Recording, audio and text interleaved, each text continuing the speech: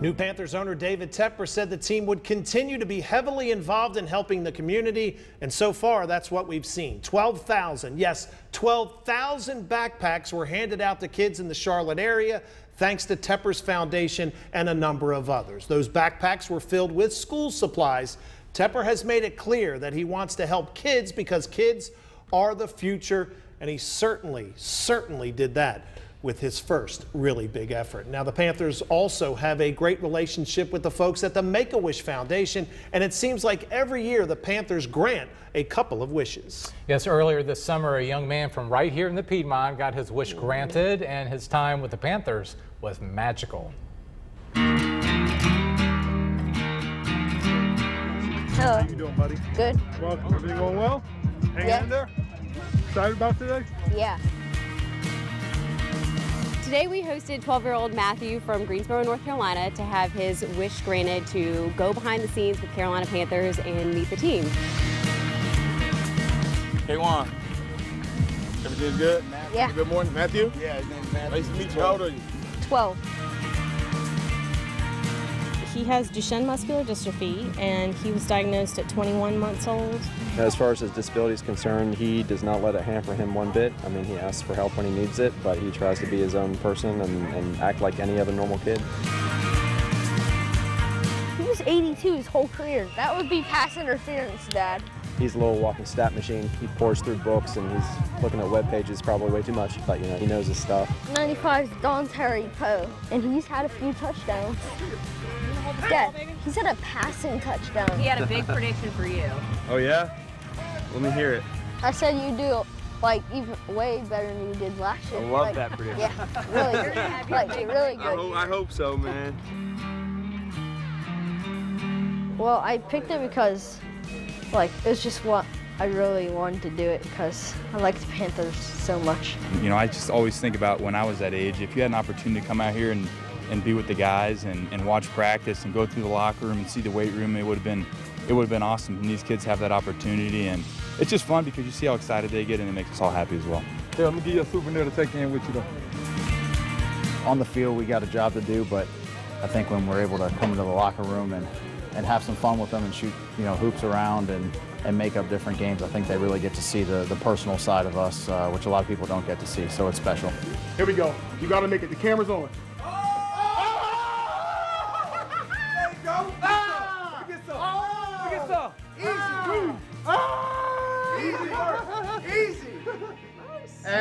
Act like you've been there before.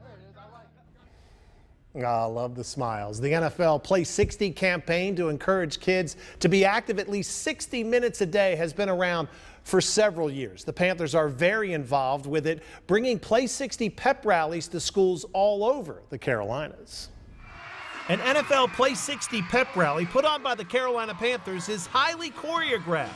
Union Cross Elementary in Kernersville got to experience that firsthand.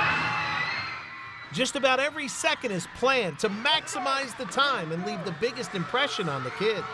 It's a production, but when we go to a school or we go to you know anywhere, we want to make sure that you know everyone's engaged, everyone's having fun. We like to do it up big, just like we do at Bank of America Stadium. Keeping kids' attention can be a challenge. Ask any teacher. It takes a crew of 12 to come in and, and really execute a, a show like today and, and really make it entertaining for the kids. Selected players are always a part of the show. Graham Gano and Devin Funchess were the stars at Union Grove. A lot of moving parts, a lot of stuff that I probably don't even realize that goes on, but um, it's pretty special, you know, and, and I feel like if you're going to do something like this, you might as well go all out, and that's what our team does.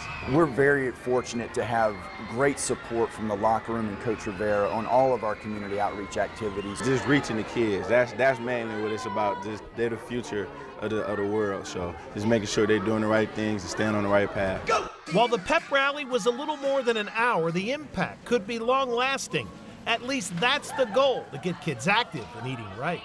And then seeing the kids get so excited, or when the kids first walk into the gym and they see all the Panther stuff everywhere, and they're just so excited because one, they're not in class, but they also get to have this fun day with the Panthers. I mean, you can't beat that. It's awesome. I did not know it was going to be to this caliber, um, but I'm super excited it was because, I mean, Union Cross, they're awesome kids, and so you couldn't ask for a better place to be celebrated. Encouraging healthy habits, but also creating Panther fans for life is what these Play 60 pep rallies have become. Danny, I was there that afternoon. That place was mm-hmm. nuts. yeah. It was nuts, but it was fun stuff. All right, players and coaches always say it's dangerous to look down the road, down the schedule, but you know the Panthers can't wait for that game against the Steelers. Yeah, I'm sure they have it circled on their calendar. Yes, it comes in week 10, a special Thursday night game right here on Fox 8.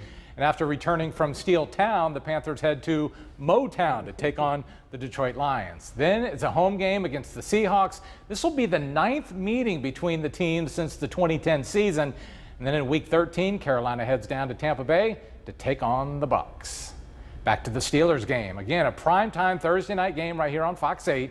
The Panthers defense against the Steelers killer bees, Bell, Mr. Brown at receiver and Big Ben. The Panthers offense is scary good. Carolina and Pittsburgh, they've met six times in the regular season. The Panthers have only won once way back in 1996. Later on, Hey, Carolina Panthers, this is our year. while the fans are excited, some experts have questions about the secondary. Oh yeah, they say they say we suck. I think Pro Football Focus had us what, like ranked 29th or something. Or it was something terrible. Uh, But next, former great defensive back Mike Minter becomes a mentor. So really, it's a it's a leadership academy is what we in. The lessons he learned as a Panther, he's passing on to the next generation of players.